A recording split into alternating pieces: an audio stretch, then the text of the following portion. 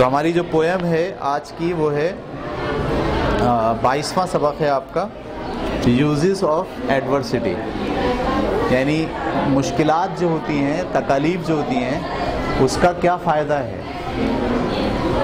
ये एक आ,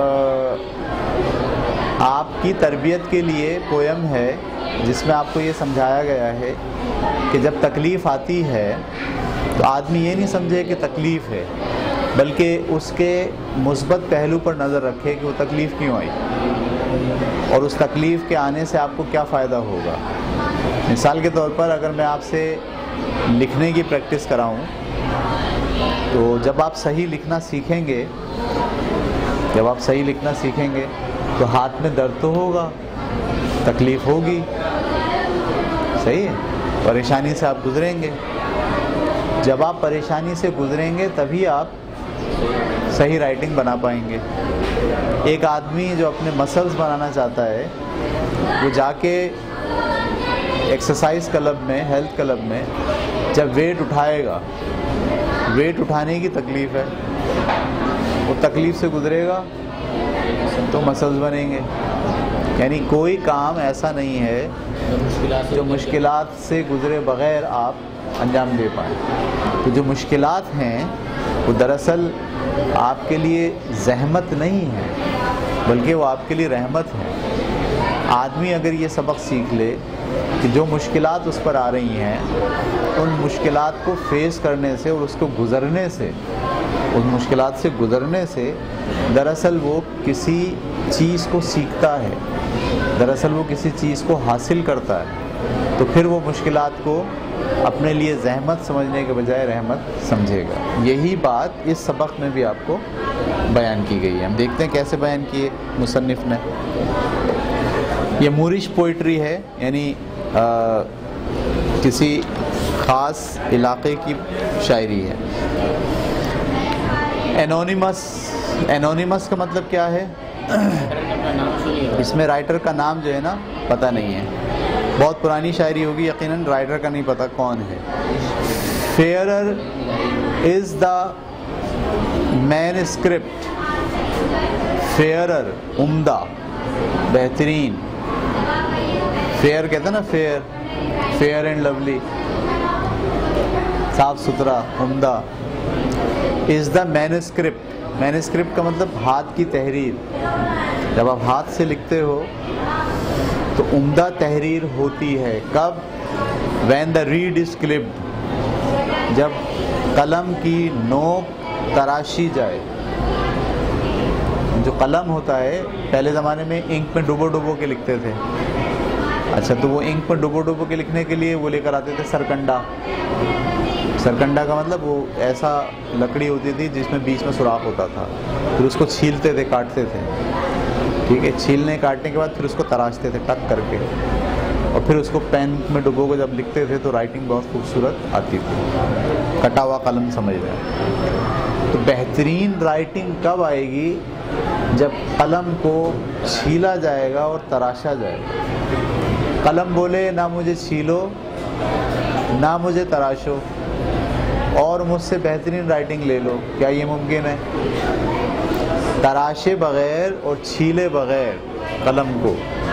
वो बेहतरीन तहरीर देने के काबिल नहीं होता। ये एक मिसाल दी उन्होंने। ऐसे इंसान भी तराशे बग़ैर, छीले बग़ैर, तकलीफ़ें उठाए बग़ैर मुश्किल सहे बग़ैर बेहतरीन कारकर्दगी देने के काबिल नहीं होता। ये मिसाल दी दोबारा पढ़ता हूँ मैं। फेयरर इज़ द मैनस्क्रिप्ट उतना ही उम्दा हाथ की तहरीर होगी वेन द रीड क्लिप जब आप कलम को तराशेंगे। Clearer runs the message clearer runs the message साफ़ सुथरे तरीके से मैसेज ट्रांसफ़र होगा। आदमी के दिमाग में है, कलम से वो मैसेज निकल रहा है और किस पर आ रहा है? सफ़े पे। तो ट्रांसफ़र हो रहा है मैसेज ये मैसेज खूबसूरती से कब ट्रांसफ़र होगा? There is a trimming of the pen जब आपने पेंसिल की नोक को ट्रिम किया होगा ट्रिम का मतलब छीला हो, बारीक किया हो। पेंसिल की नोक को आप ब्लेड से तराशें या कटर से छीलें और वो बोले, नहीं, मुझे छीलो मत। तकलीफ़ होती है, दर्द होता है, मैं छोटी हो जाती हूँ, मेरी ज़िंदगी ख़त्म हो रही है। अच्छी खासी बड़ी थी, तुमने काट काट के मेरा हाल क्या कर दिया? वो ये रोना शुरू कर दे रोना। तो क्या वो बेहतरीन तहरीर लिख सकेगी? क्या बेहतरीन ख्याल को सफ़े पे ट्रांसफ़र कर सकेगी? कभी भी नहीं। तो ये दो मिसालें दी हैं। कि जो कलम है, वो उसी वक्त बेहतरीन लिखता है, जब उसको तराशा जाए। ये भी तशबी है। पेंसिल भी उसी वक्त बेहतरीन लिखेगी, जब आप उसे छीलेंगे। हम कहें कि छीलने का दुख पेंसिल बर्दाश्त ना करे। सही, तराशने का दुख कलम बर्दाश्त ना करे। और आपको नतीजा बहुत अच्छा दे। तो ऐसा मुमकिन नहीं है। अच्छे नतीजे के लिए, अच्छी तहरीर के लिए ये ज़रूरी है कि कलम को तराशा जाए। तो ये ज़रूरी है कि पेंसिल को छीला जाए। ऐसे ही अगर आप भी ज़िंदगी में मुफीद होना चाहते हैं आपको मुश्किल से गुज़रना पड़ेगा। तकालीफ झेलनी पड़ेंगी। सही है। मेरा तो एक बुनियादी फ़लसफ़ा है बच्चों की तरबियत के लिए कि बच्चों को आसानियाँ, मुहैया मत करें। उनको मुश्किल में रखें। यानी अगर आपके पास पैसे भी हैं दौलतमंद हो गए आप। खाने पीने की कोई तकलीफ़ नहीं है, पैसा बहुत है। लेकिन आपके बच्चे हैं तो आप ये नहीं करें कि उन्हें हर चीज़ ला के दे दें। उनकी हर आरज़ू पूरी कर दें। उनकी सारी ख्वाहिशात को घर बैठे मुहैया कर दें। नहीं। क्योंकि अगर आप ऐसा करेंगे तो वो किसी तकलीफ़ से नहीं गुजरेंगे। किसी मुसीबत और परेशानी को नहीं झेलेंगे। और आदमी बनता कब है? जब वो किसी तकलीफ़ से गुजरता है, किसी परेशानी से गुजरता है। समझ में आ रही बात आपको? मतलब आप बेहतरीन कब पढ़ोगे? जब आपको ये फील होगा कि मेरे 62 परसेंट नंबर हैं, तकलीफ़ हुई ना कितनी? मुश्किल हो गई बहुत। जब आप इस तकलीफ़ से नहीं गुजरते तो अब आप दसवीं में पढ़ते ही नहीं। दसवीं जमात में सही है, वालदेन ने भी बोला, माशरे ने भी बोला, खुद अपने दिल ने भी बोला है ये क्या हो गया? ज़िंदगी जो है वो बिल्कुल अच्छा ये जो तकलीफ़ है, ये तकलीफ़ आपको किस बात पर आमादा करेगी? अब ये रात को जगाएगी, सुबह जल्दी उठाएगी होमवर्क कराएगी, सही? पढ़ने की आपको फ़िक्र होगी, कोई तकलीफ़ नहीं होती।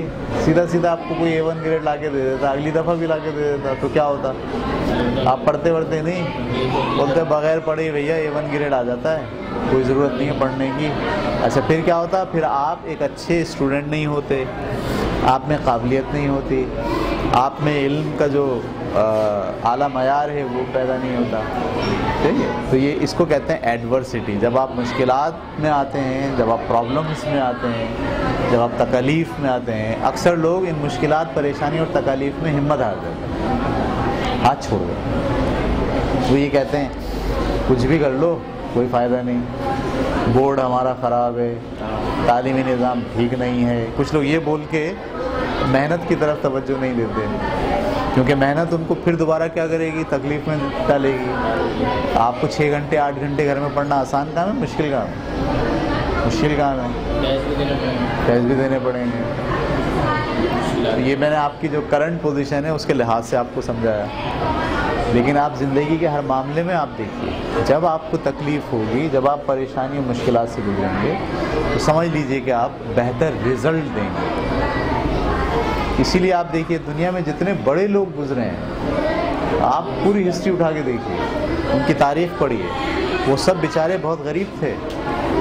उनकी ज़िंदगी बहुत परेशानी में गुजरी। ये बड़े बड़े शायर हैं मीर तकी मीर बचपन में अब्बा मर गए।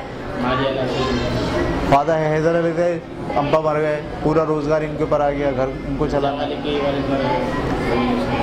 समझ में आ रही बात आपको? तो इसी तरह एडिसन को देखें आप बड़े बड़े साइंटिस्ट को देखें आप आप हैरान हो जाएँगे। सारे वो लोग हैं जिनको बेचारों के पास खाने को नहीं था, आसाइशें नहीं थी, सहूलियात नहीं थी, बहुत मुश्किल थी। मतलब मैं तो पढ़ा है मादाम क्यूरी के बारे में। मादाम क्यूरी जिस जगह पे रहती थी, वहाँ सर्दी बहुत थी। उन बेचारी के पास आग जलाने के लिए, लकड़ी ख़रीदने के लिए पैसे नहीं होते थे। तो क्या करती थी, जैसी रात होती थी तो सब खिड़कियाँ दरवाजे बंद करके अपने संदूक के सारे कपड़े निकाल के वो सारे ओढ़ लेती थी। एक एक, दो दो, तीन तीन डबल तिबल चुबल पहन लेती थी और जो बचते थे उसको ओढ़ लेती थी। उससे भी सर्दी नहीं जाती थी तो जो किताबें होती थी, उसको अपने ऊपर रख लेती थी। कि किसी तरीके से सर्दी जाए।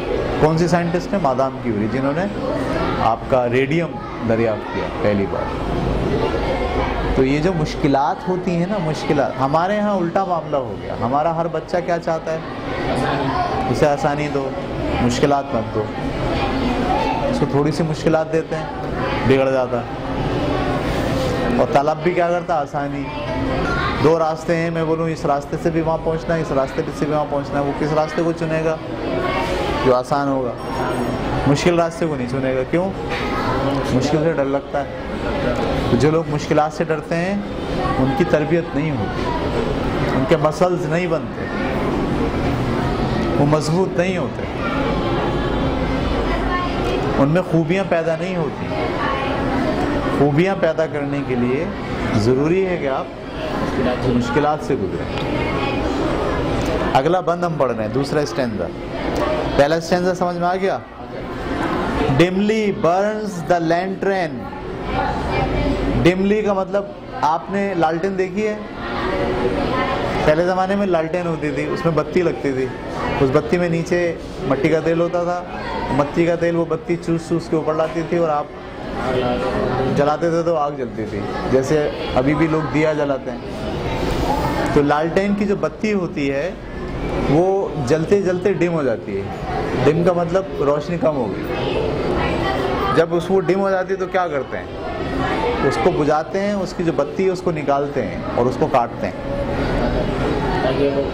काटने का मतलब उसका जो कार्बन ऊपर वाला है, उसको हटा दिया जाए और नीचे से उसको और थोड़ा ऊपर करते हैं और फिर दोबारा से जलाते हैं तो क्या अब वो बड़ी तेज़ जलती है रोशनी के साथ। तो यहाँ मिसाल दे रहे हैं डिमली बर्न्स द लालट्रेन अगर आपकी लालट्रेन बहुत स्लो स्लो जल रही हो when its wick is cut लेकिन जब आप उसकी बत्ती को विक का मतलब बत्ती को काटते हैं परफेक्ट विल इट्स लस्टर भी तो फिर उसका शोला परफेक्ट होता है। लस्टर का मतलब वो जो शोला होता है ना, गोल रंग का जो लालटेन में जल रहा है, आग जो दिख रही है, वो शोला परफेक्ट कब बनता है?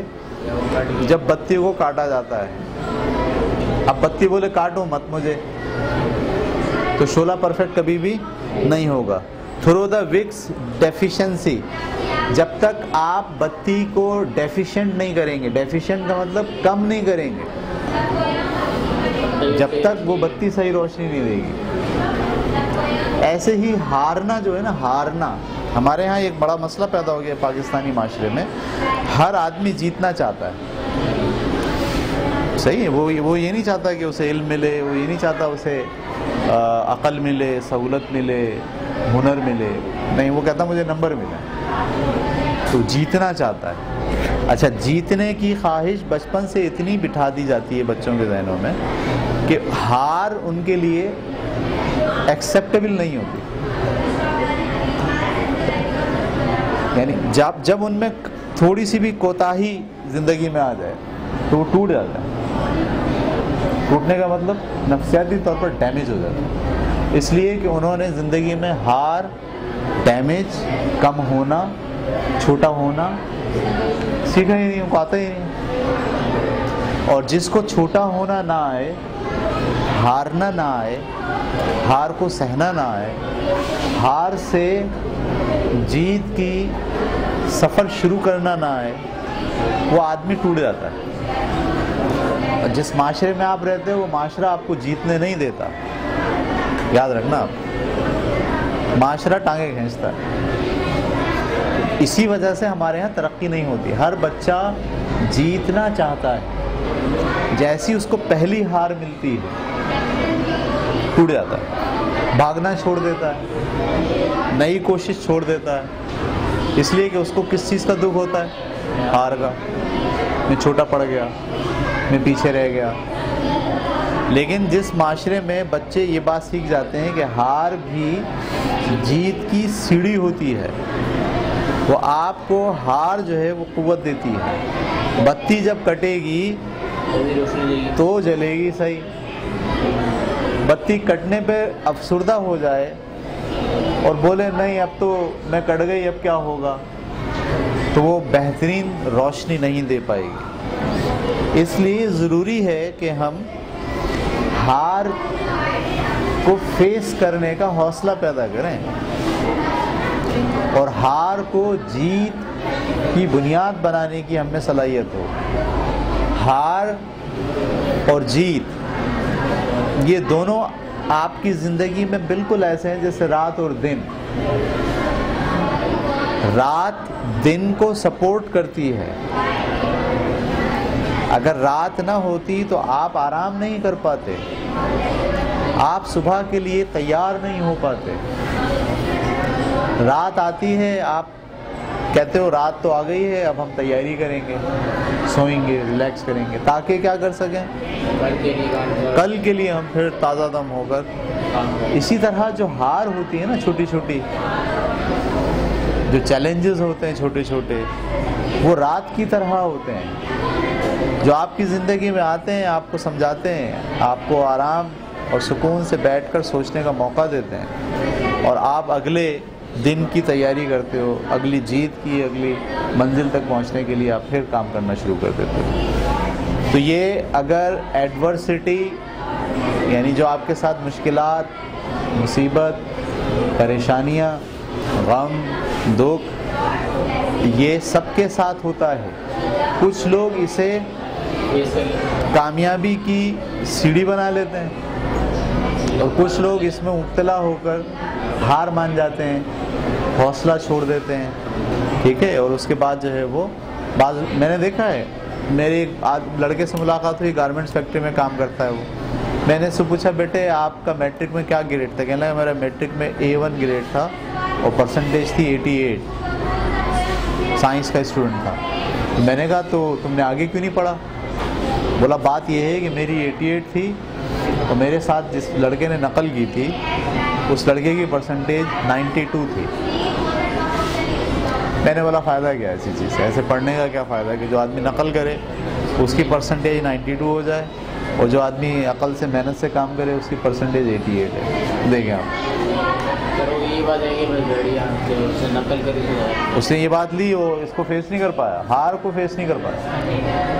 और पढ़ना ही छोड़ गारमेंट सेक्टर में काम कर रहा है, मुँह में गुटका है।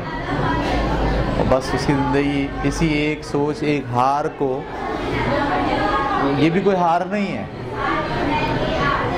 मतलब इसीलिए हमारे मज़हब ने ये बात कही है कि जब भी आप कंपैरिजन करो जीत का तो उस आदमी से करो जो आपसे नीचे है।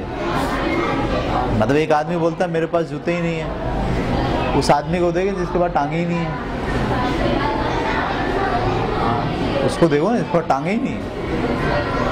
आप तो रोना रो रहे हो किस बात का? जूते नहीं है। उसके पास तो क्या है? टांगे भी हैं। तो आप जैसे उसको देखोगे तो क्या बोलोगे? या अल्लाह तेरा शुक्र है। वो टांगे तो हैं। मैं मेहनत करूँगा तो जूते भी आ जाएँगे। लेकिन मैं बोलूँ, नहीं, मेरे पास तो जूते नहीं है और मैं बैठ जाऊँ। भाई, ये तो मुनासिब नहीं है। ये एडवर्सिटी ज़िंदगी में आपको जो चरके लगाती है एडवर्सिटी जो आपको मुश्किल में मुब्तला करती है, वो इसलिए नहीं करती कि आप रो धो के गमज़दा हो के बैठ जाएँ। बल्कि वो आपको इसलिए करती है कि उसके अंदर ही दरअसल कामयाबी छुपी होती है। मैंने आपको एक कहानी सुनाई थी ना कि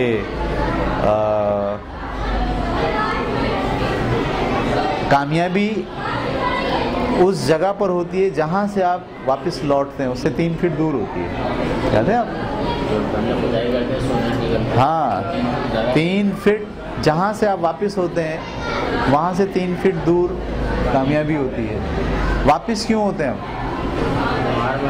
हम हार मान लेते हैं। हम हौसला छोड़ देते हैं। हमें वो जो एडवर्सिटी है, उसको झेलना मुश्किल हो जाता है। वो जो तकलीफ़ है, हम उस तकलीफ़ को झेल नहीं पाते।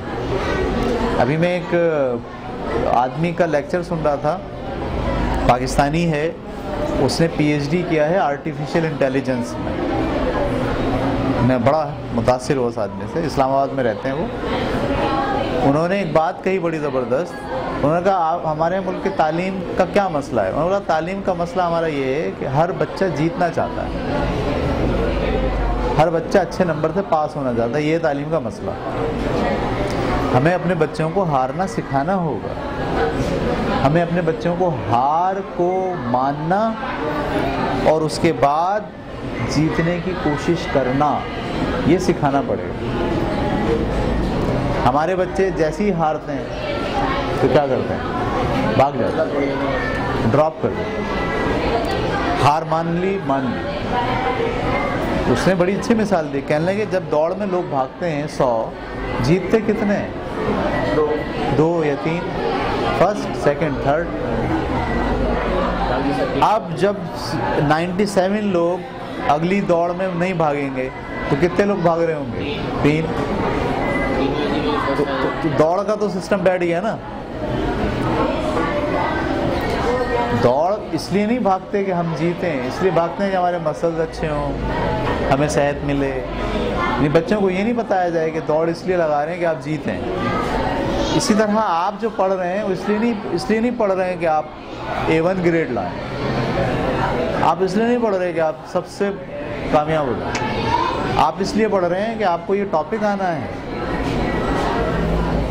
समझ में रही बात आपको? जब लोग भागते हैं अगर वो ये सोच के भागें कि हमें तो जीतना है और वो नहीं जीतेंगे तो क्या होगा? अगली दफ़ा नहीं भागेंगे। लेकिन जब वो भागते वक्त ये सोचें कि मैं भाग इसलिए रहा हूँ कि इससे मेरा स्टेमिना बनेगा मेरे मसल्स मज़बूत होंगे मेरे घुटने मज़बूत होंगे मुझे पसीना निकलेगा इसके मुझे बेनिफिट भागने के बेनिफिट मुझे हो रहे हैं। हाँ अगर मैं जीत गया तो एक खुशी और है। और अगर नहीं जीता बेनिफिट तो मिल ही रहे ना। ये वाली सोच जब आपके यहाँ आएगी हर काम में। पढ़ने में भी ऐसा ही है। मैंने देखा पढ़ने में बच्चे बहुत मेहनत करते हैं। इनके जहन में क्या होता है? कि हमारा ए ग्रेड ही आए। जब ए ग्रेड नहीं आता तो क्या होता है? हार मान जाते हैं। नहीं, ऐसा नहीं है। आप पढ़ इसलिए नहीं रहे कि आपका ए ग्रेड आए। आप पढ़ इसलिए रहे कि आपको टॉपिक आए। आपकी जहन साजी हो, आपका जहन कुशादा हो मैथ के अंदर आपकी ग्रिप हो फिज़िक्स के उसूल आप जानते हो केमिस्ट्री की बुनियादी बातें आपको पता हो, ख्वाजा हैदर अली आतिश का तारुफ हो, मीर तकी मीर कौन है आप जानते हो, कनाया क्या होता है? ये आपको पता हो तशबी क्या होती है, आपको पता हो। ये सब ये सब चाहिए आपको, पढ़ इसलिए रहे हैं आप। इसको पढ़ने के साथ साथ आपकी और एक ख्वाहिश क्या है? कि हमारा ए ग्रेड भी आ जाए। अब अगर ए ग्रेड नहीं आता तो आपको दुख किस बात का होता है? देर इज़ नो दुख। भागते थे सब लोग। तीन लोग होंगे जिनको फ़र्स्ट सेकंड थर्ड आना है। बाकी सबको वो है जो बेनिफिट्स मिल रहा नज़र रखिए बेनिफिट्स पर। ज़िंदगी में कभी हार नहीं मानेंगे। याद रखिए, नज़र किस पर रखिए? काम के बेनिफिट्स पर। मैं खेल इसलिए नहीं रहा कि मैं जीतूं। मैं खेल इसलिए रहा हूँ कि मेरे मेरे मसल मज़बूत हों। मेरा स्टेमिना बने। बस वो बन रहा है। हाँ उसमें कभी मैं जीत भी जाऊँगा और कभी मैं हार भी जाऊँगा। असल में जब ये वाली कैफियत होती है तो आप जीतने के बाद भी हारने वाले से मोहब्बत करते हो। लेकिन अगर आपकी ये कैफियत हो ना, कि मुझे तो बस जीतना है जब आप जीतते हो तो हारने वाले से नफरत करते हो। हम भी यही करते हैं ना, जब जीत जाते हैं तो वो जो 97 भागे थे, उनको भगा देते हैं। उन तीन को खड़ा कर देते हैं किस पे? फ़र्स्ट सेकंड थर्ड पे उनकी तस्वीरें लेते हैं उनको मेडल बनाते हैं उनको उनको हम नफरत से देखते हैं। आए हाय हार गए। समझ में आ रही बात आपको? तो ये रवैया आपको बदलना होगा। अगर ज़िंदगी में आप कुछ करना चाहते हो कामयाब होना चाहते हो तो आपको ये रवैया बदलना पड़ेगा। आप जितने भी पुराने लोगों को देखेंगे जिन्होंने बड़े बड़े कारनामे अंजाम दिए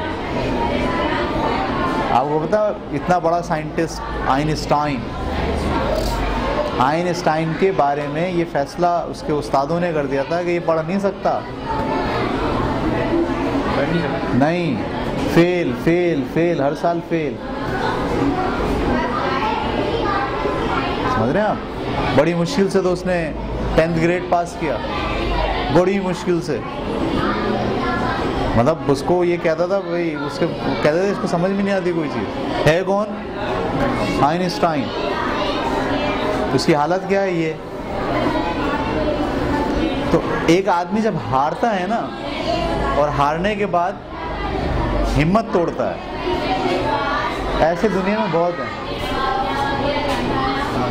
खरबों अरबों के हिसाब से हैं। ऐसे ही हैं सब। अहम कौन है?